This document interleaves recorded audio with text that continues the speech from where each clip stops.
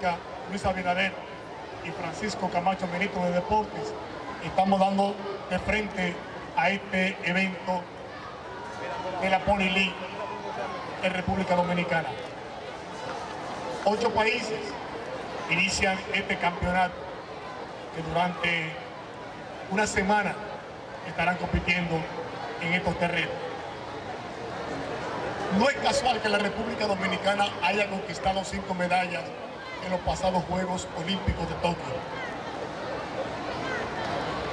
No es casual que el equipo de béisbol haya conquistado medallas de bronce en ese evento.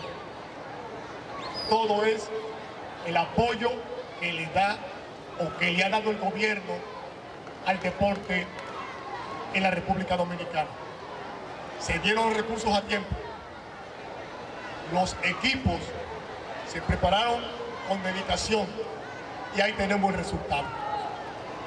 Hoy nosotros como Ministerio de Deporte le estamos dando un total apoyo a este campeonato y a su presidente Eugenio Valls.